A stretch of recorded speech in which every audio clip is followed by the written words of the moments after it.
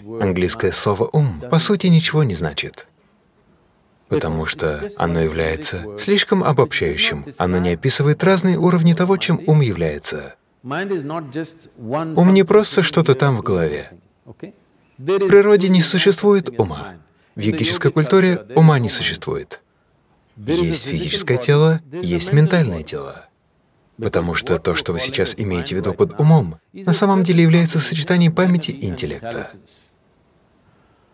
В вашем теле есть память, гораздо больше памяти, чем вы можете представить. Я буду использовать вас как пример, ничего? Вы определенно не можете помнить, как выглядела ваша пра-пра-пра-пра-прабабушка, но сейчас на вашем лице находится ее нос. Да? Ваше сознание не помнит этого, но ваше тело помнит все на сто процентов. Ваше тело до сих пор помнит, какой была ваша прабабушка 10 поколений назад. Ваше тело помнит, как выглядели ваши предки миллион лет назад. Не так ли? Она не забыла и не забудет в будущем. Ваш ум не способен на такого рода память. У вашего тела память в триллионы раз больше, чем у вашего так называемого мозга. Полное переключение внимания на мозг и умственный процесс — это европейская болезнь. Они придают слишком большое значение мыслям. Это произошло потому, что они жили в угнетенном обществе, подчиненном религии, в котором не было возможности думать о чем-либо другом, кроме того, что было написано в книге, иначе тебе конец. Они жили так долгое время. Из-за этого, как только у них появилась небольшая свобода мысли и управления жизнью, они начали слишком сильно превозносить мысли. Давайте попробуем понять, как появляется мысль. Вы можете рассуждать только на основании того, что уже знаете. Это значит, что вы никогда не сможете думать о чем-то абсолютно новом. Вы можете перерабатывать, преобразовывать и создавать новые сочетания. Но вы не можете придумать что-то совершенно новое. Это противоречит самой природе мысли. Придумывать что-то новое. Мысль может только перерабатывать прошлое.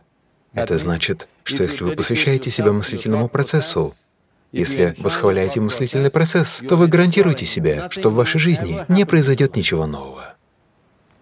Поэтому нет необходимости так превозносить мысли. Вот почему в этой культуре мыслям никогда не придавалось особого значения. Все, что вы думаете, это ваша психологическая драма. Нас это особо не заботит. Потому что это ваша драма. Она имеет значение для вас, драма кого-то другого важна для него. И каждый думает, что его драма самая важная во Вселенной.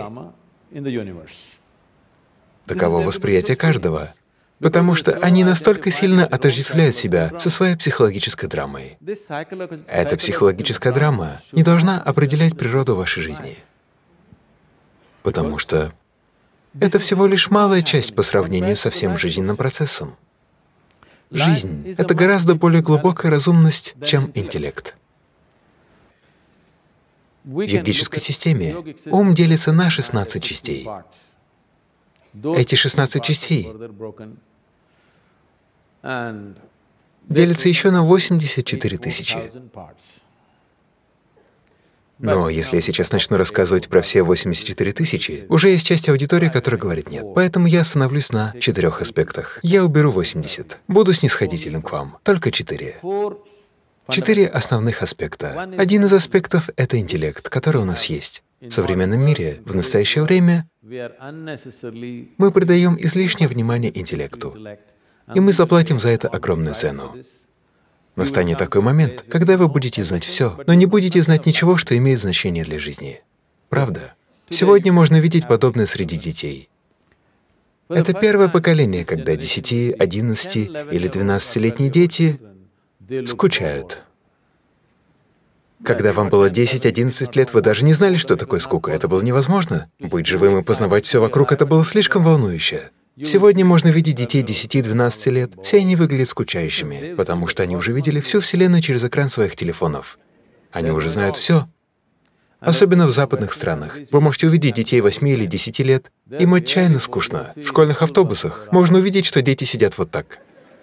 Им скучно, потому что к тому времени, как им исполняется 12 лет, они уже были в любовных отношениях, пережили разрыв, восстановились от этого, попробовали алкоголь, видели все, возможно, прошли даже через физические контакты, и знают все про Вселенную.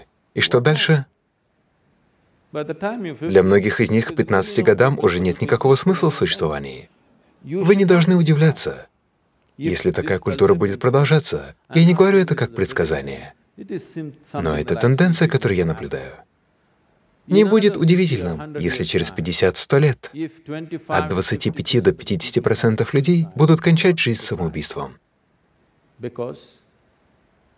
Потому что жизни требуется насыщенность.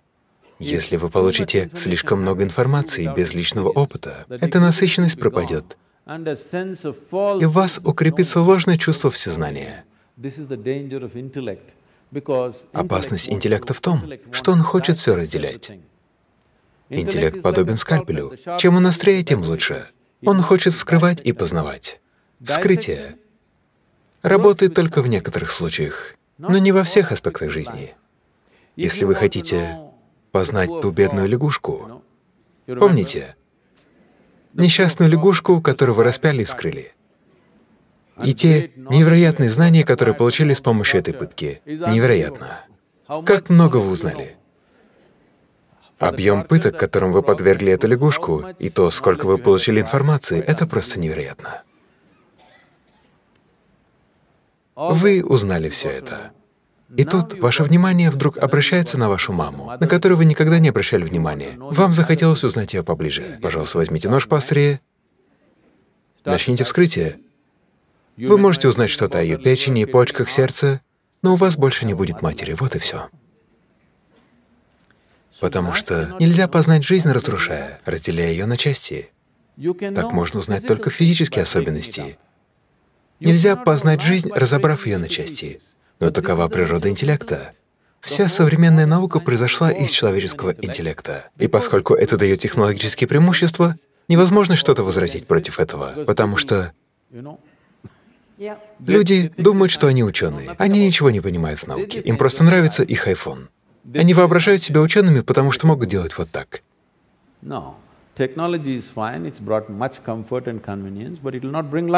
Технологии — это прекрасно, они дают нам столько удобства и комфорта, но технологии не смогут принести нам жизнь. Интеллект будет полезен только в зависимости от того, с чем он отождествлен, и от того, что в нем заключено, насколько прочно это удерживается. Следующий аспект ума. Первый — интеллект, мы называем будди, второй называется аханкара. Аханкара — это не эго, это отождествление. Ваш интеллект функционирует только в рамках того, с чем вы себя отождествляете. Например, если вы идентифицируете себя с нацией, если вы говорите «я индиец», то для вас все индийское выглядит прекрасным. Если вы отправитесь в другую страну и будете идентифицировать себя с ней, то все в той стране будет для вас выглядеть прекрасным. Итак, ваш интеллект работает только вокруг того, с чем вы себя ассоциируете. Так что аханкара — это отождествление. То, насколько осознанно и стабильно создавалась ваша аханкара, будет определять эффективность вашего интеллекта. Одна только острота интеллекта не означает, что он будет эффективен, так как острый ум или острый нож могут нанести вам ущерб. Если у вас есть острый нож, но у вас трясутся руки, то вы порежете себя. Вот и все, что происходит. Таковы все человеческие страдания. Мы просто не знаем, как правильно держать интеллект в своей руке. Каждый день вы режете сами себя. Все страдания вы создаете сами, потому что ваш собственный ум постоянно вызывает это. Что бы ни происходило, люди страдают в любом случае, потому что они не знают, как обращаться со своим интеллектом. Если бы у вас был ум земляного червя, вы были бы довольно умиротворенными. Да? Вы пытаетесь притупить свой ум самыми разными способами. Алкоголь, наркотики, переедание. Вы делаете самые разные вещи, только чтобы хоть как-то притупить остроту, потому что она причиняет боль. Он ранит не потому, что такова его природа, а потому что вы не знаете, как его держать. Следующий аспект ума называется манас. Это огромный объем памяти. Она не там или тут, все тело хранит память. Это называют маномайкоша — огромное хранилище памяти. Вся эта память распределена по разным отсекам. Мы не будем сейчас вдаваться в детали, учитывая пожелания аудитории. Им не нужен ум. Простите, они не хотят ничего знать про ум. Итак, четвертое измерение ума называется читта. Читта означает «чистый разум». Он не испорчен памятью, в нем нет никаких следов памяти. Это чистый разум. Если вы соприкоснетесь с ним, то получите доступ к тому, что мы называем источником мироздания. Потому что у вас могли вложить разные понятия, что Бог — это любовь, Бог — это сострадание, Бог — это доброта, все что угодно. Кто-нибудь выйдите сюда, встаньте на край этой сцены, произнесите все молитвы, какие захотите, а потом упадите вниз. Я хочу посмотреть, что получится в результате. Сострадание или перелом. Я хочу проверить, хорошо? Все подобное было придумано по той причине, что если кому-то чего-то не хватает, создают идею Бога, основываясь на этом качестве. Ваше представление о Боге появились только потому, что вы не знаете, как произошло все это мироздание.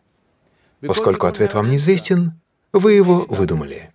И поскольку вы человек, вы говорите, «большой человек сидит вон там наверху».